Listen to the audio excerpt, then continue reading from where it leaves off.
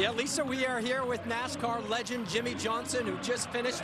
You look great. You got the bib 48-48. In case you don't know, you're the 48 car, which I think you could do 26 miles in like 10 minutes if you were in your NASCAR. I wish I had my car for Heartbreak Hill. It would have made that a lot easier, but what an incredible experience. Um, just a huge thank you to Gatorade Endurance for including me in this and um, letting my charity be the focal point of all this.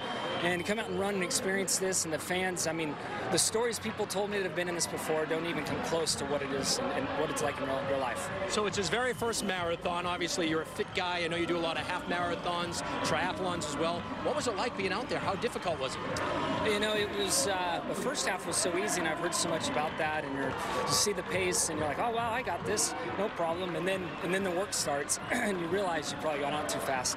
Excuse me. So um, just thankful that this worked out. I work on Sundays, so all other major marathons and triathlons I can't participate in, but with this on a Monday, it works out. And you said just before we came on TV that it's the worst pain you've ever been in. Is that true? As you can tell by my voice, yes. That I wanted to race it, so I went out with the heart rate and, and time in mind. I uh, came up a little short, but still to be that low in the threes, I'm real happy with it. You wanted to finish in three hours. You finished in 3:09. Still a tremendous time for a first-time marathoner. Thank you. I appreciate it. It's been been a, an amazing experience. I learned so much about myself, and just can't believe how the city supports all the runners on course. And then I know that you saw what happened here six years ago on this day with the Boston Marathon bombings. It was after that you saw what happened, and I saw a quote where you said that you too wanted to be Boston strong. What did that mean? I, I wanted to be here um, and participate in that, and um, unfortunately, my car racing schedule didn't work out.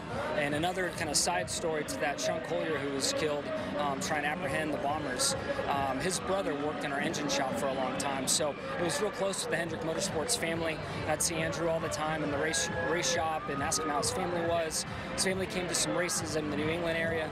Um, so I've, I've also had that kind of in the back of my mind here, and I'm glad you brought that up so I could mention his name and honor. And final question, what's more difficult? Driving 200 miles or running 26 miles? 26, without a doubt. This is it?